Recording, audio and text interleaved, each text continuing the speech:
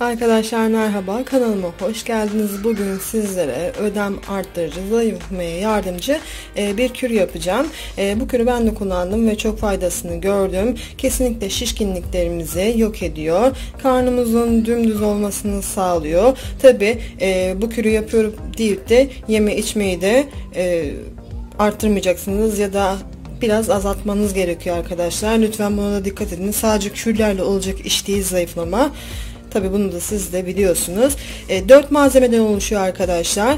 Ben taze zencefil kullandım ama siz isterseniz toz zencefil de kullanabilirsiniz. Yarım limon, 3 yemek kaşığı yoğurt ve bir sade soda. Karıştırmak için de böyle bir camano, e, cam kavanoz kullanıyorum arkadaşlar. Hem nasıl yapılıyor bunu da sizlere göstereyim.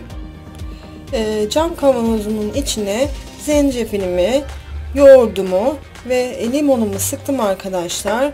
En sonda sade sodamı da ekliyorum.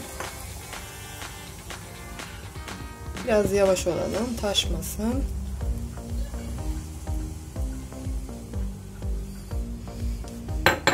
Ve kapağını kapatıp hafiften çalkalıyorum.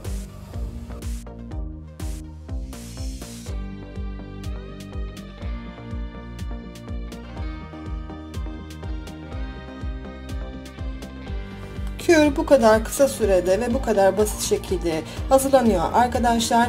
Her gece yatmadan önce bu kürü için ve güzel uykunuza başlayın ve kısa sürede ne kadar etkili olacağını siz de gözlerinize şahit olacaksınız.